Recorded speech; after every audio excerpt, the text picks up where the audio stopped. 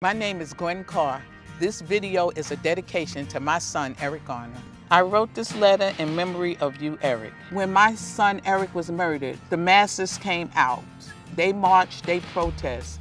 Even as an adult, you were still my baby. Now the movement seems bigger because there is all colors, all races. Everybody is involved now. And I think that they are involved because of the pandemic. We were made to sit down and watch. I miss you greatly. I still can't believe that you're gone, gone forever. So I see George Floyd's situation, I think it's a boomerang.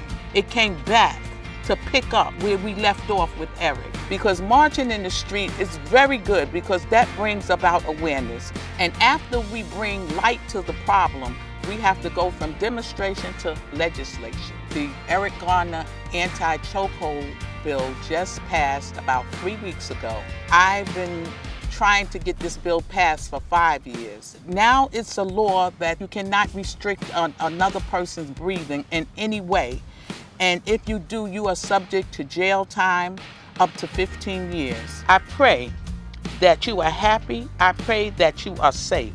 I pray to God each night to wrap his arms and keep you in his awesome grace.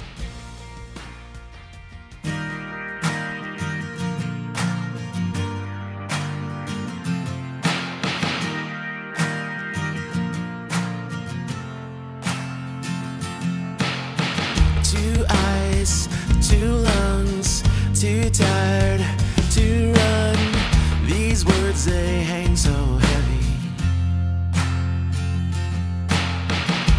No justice, no peace. Pretend my fists don't bleed when I punch the air so I can breathe. You only see me when I'm gone.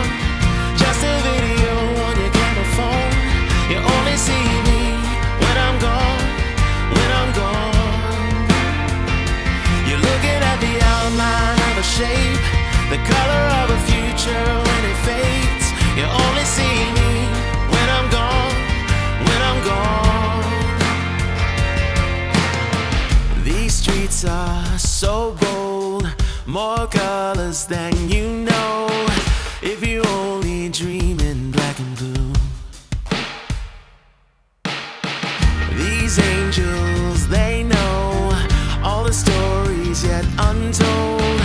When you look into my mother's eyes, she knows you only see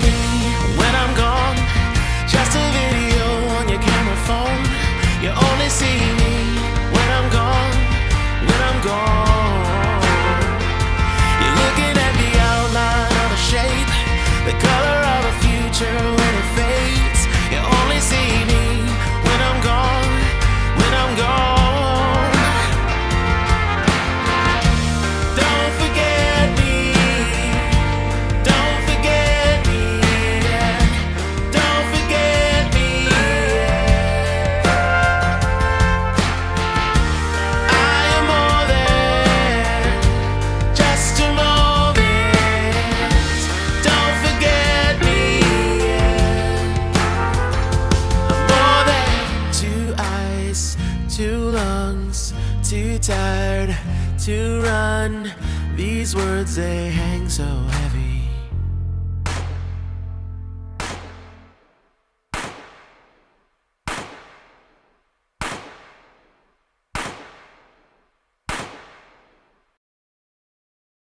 I want to say happy heavenly birthday to my son, Eric Garner. Let's make September 15th Eric Garner Day.